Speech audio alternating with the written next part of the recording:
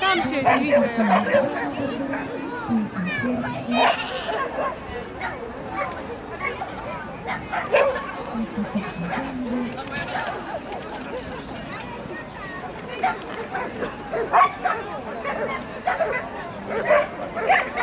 Odnotowali w ogóle te punkty karne, czy nie?